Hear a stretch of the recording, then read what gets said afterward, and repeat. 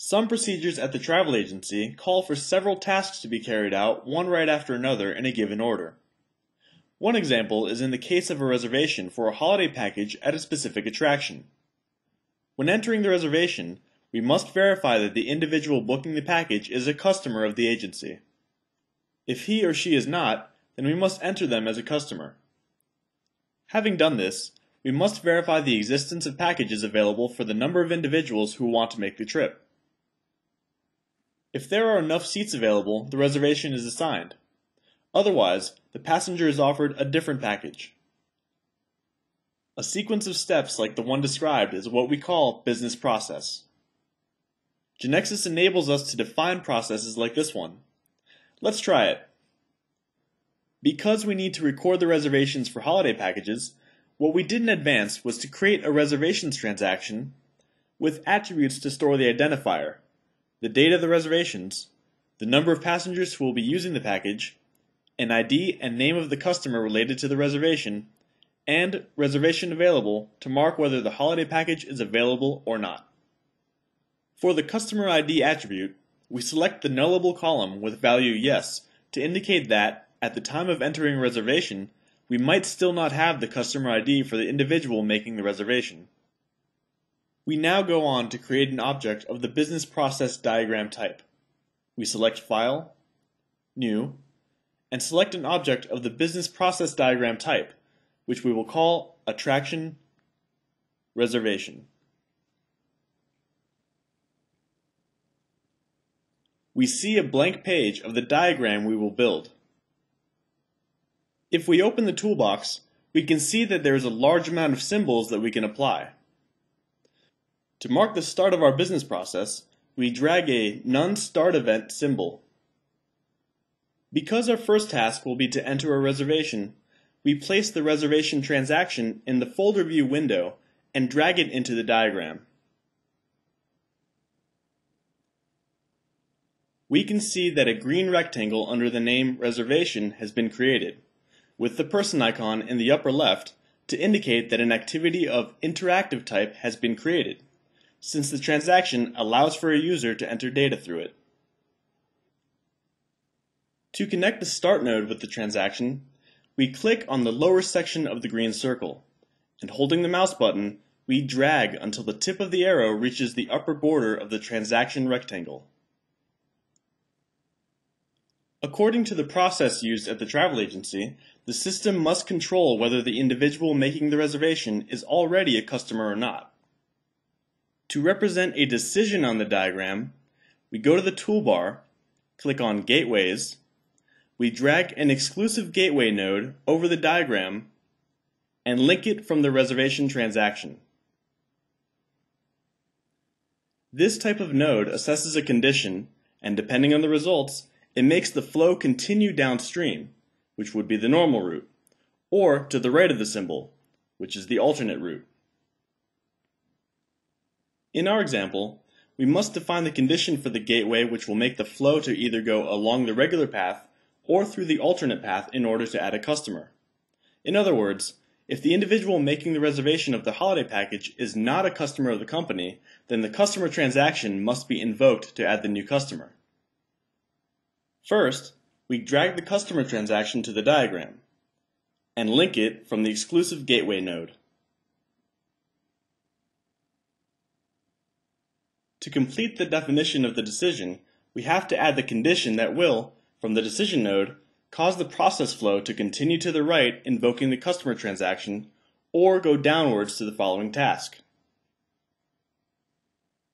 In our case, the path to the right would be the alternate flow, while the downward path would be the usual flow, that is, when the individual making the reservation is already a customer of the travel agency. To define the condition that will cause the diverging paths, we double-click on the green arrow that links the gateway with the customer transaction, and we will see that a window of the conditions editor opens up.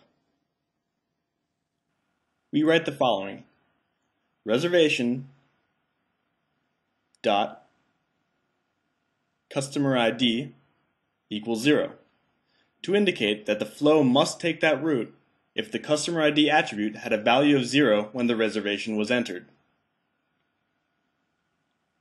Following this alternate path, the customer transaction will be opened for us to add, as customer, the individual making the reservation.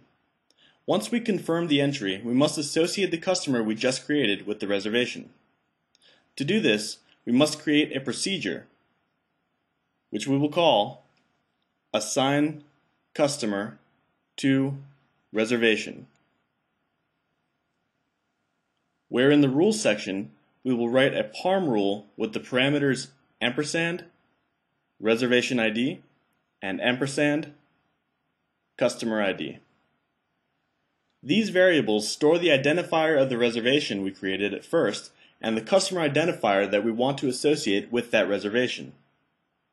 In the source, we write for each where reservation ID equal to the reservation ID variable we received by parameter. Next, to customer ID, we assign the value of the customer ID variable and then close the for each. This is how we assign the customer just created to the reservation that was entered before. We save and go back to the diagram. We now drag the procedure we just created to the diagram. We can see that a blue rectangle was generated, meaning that the task created is of the non-interactive type, also called batch type. This is because the procedure is executed without human intervention, so there is no interaction with the user who enters data, as is the case with transactions. And lastly, we connect the assign customer to reservation procedure from the customer transaction. So far, we've described the task to be done when the alternate flow is executed, that is, adding a new customer and assigning it to the reservation. We'll now add the activity that will be done if the flow is the normal one, when it's not necessary to invoke the customer transaction. At this point, the agency employee must verify availability for the reservation, like checking flights, availability of the package requested for specific dates, among other things, and then instruct the system as to whether the reservation may be completed or not. To enter this data, we must have a screen where we will confirm or cancel the reservation. To do this, we can open the reservation transaction again and mark it as available or not with the reservation available attribute. To do so, we place the reservation transaction in the folder view window and we'll drag it to the diagram and connect it from the gateway we see that an activity was created under the name Reservation 1. So we press F2 and change its name to Reservation Availability. Note that we are not changing the name of the transaction here, but rather the activity of the diagram that invokes the reservation transaction. When we inserted the gateway that allowed us to decide, we said that the flow to the right aimed at the customer transaction was the alternate flow and that the flow downwards was the regular flow. That is to say, when the individual making the reservation was already a customer. To indicate that the regular flow is the one going downwards, we select the connection, and in the Properties window, we set the condition type property with the default value. Note that, on the diagram, the flow is shown with a green line going across it. We can now connect the assign customer to reservation task to the reservation availability task, because once the customer assignment is completed, we must also continue verifying availability for the reservation. Let's go on with our diagram. After completing the reservation availability task, we must assess the value we set for the reservation available attribute. If the checkbox is not checked, this means that the reservation is not available, and we must offer the customer a different package. To show this, we insert from the toolbar an exclusive gateway and connect it from the reservation availability task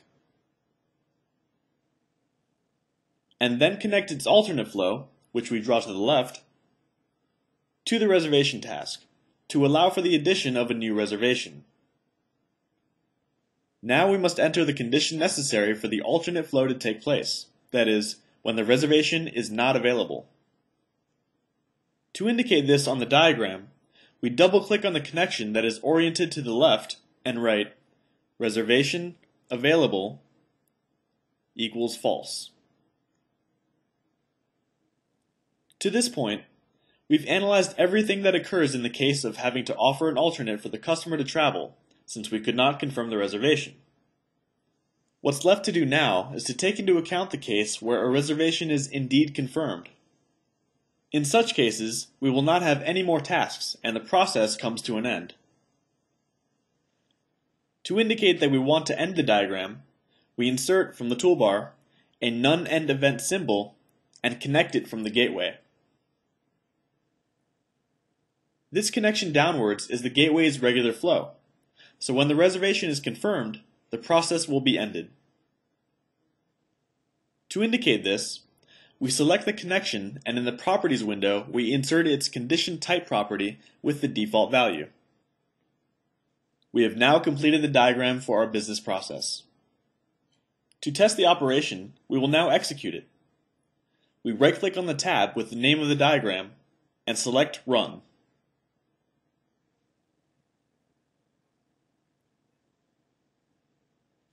In the impact analysis, Genexus informs us that the reservation table will be created, which was expected, so we proceed to reorganize and go on with the execution. A screen is opened with the GXFlow client, which has the appearance of an email inbox, where, for each user, we see the tasks pending according to the process defined. Checking this inbox, we can see a closed envelope and in the subject column we read, Attraction Reservation. This tells us that we have defined this process, and in the Tasks column, we have the reservation task pending. To execute it, we select it and then press the Execute button, or otherwise double-click on the task. This will open the reservation transaction for us to enter the reservation. We leave the ID blank because it is auto-numbered. Enter the date, the number of passengers, which is 2, and leave the value of customer ID at 0, because the person making the reservation still isn't a customer of the agency. We then press confirm. We can see that Genexus tells us that the data was entered correctly, so we close the window with the X symbol. Now the task no longer has a closed envelope. It's now open, with a symbol showing that the task has been performed. To go on to the following task, we press Send. The task we have pending execution is the customer transaction because we did not enter customer ID in the reservation. So the diagram's flow will continue to the right, opening the customer transaction so we can add the individual as a new customer. We execute the task. The customer transaction screen opens up and we enter the customer.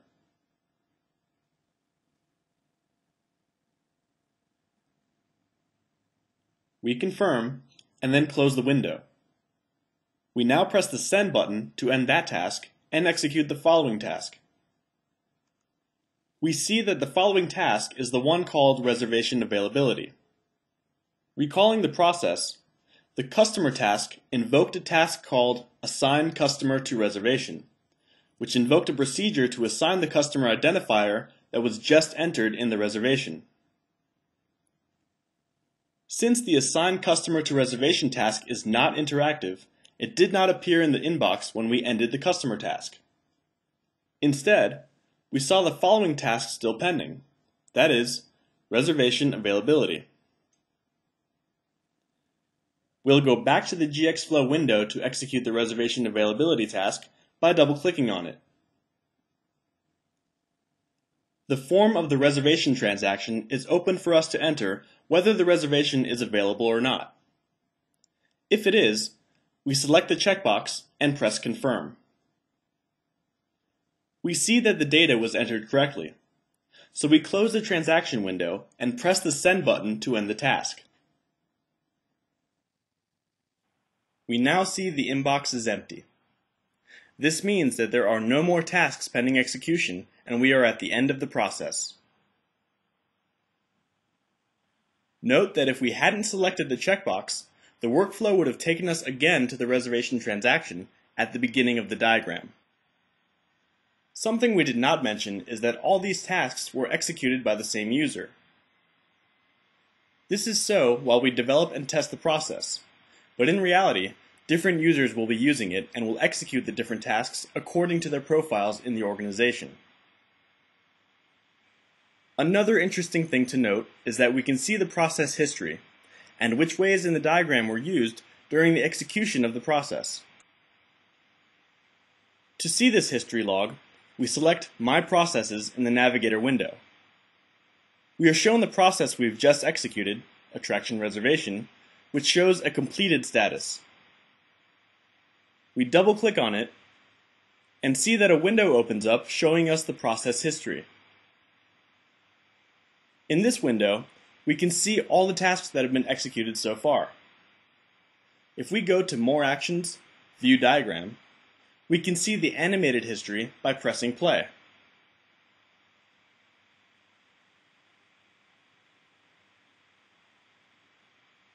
So far, we've seen that Genexus enables us to model business processes in an intuitive manner, automatically solving the object that must be executed in each case according to the definition we made through the diagram.